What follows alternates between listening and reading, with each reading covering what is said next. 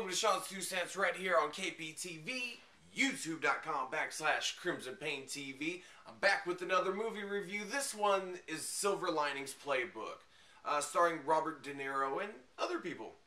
Um, I had no idea what the movie was about. Really had no clue.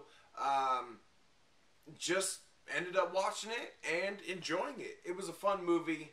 Uh, it was just like a wholehearted, just fun family movie.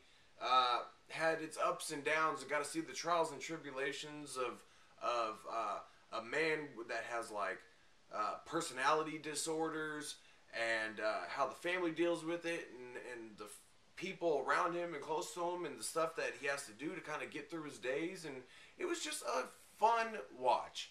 I would say definitely give it a shot if you're just looking to kick back and watch something uh, to keep you entertained. Really don't have anything bad to say about it. Um, I mean, it's not like a drama or an action flick or anything like that. It's just a good, fun uh, family movie. So definitely check out Silver Linings Playbook. Well acted, well directed, well just it was just a good movie all the way around.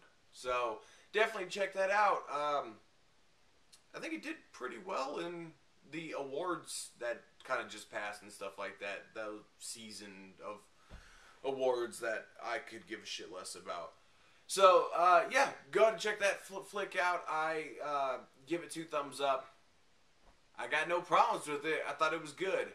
Make sure to subscribe to us right here, youtube.com backslash KrymzonPainTV. I'll catch you next week for another Sean's Two Cents.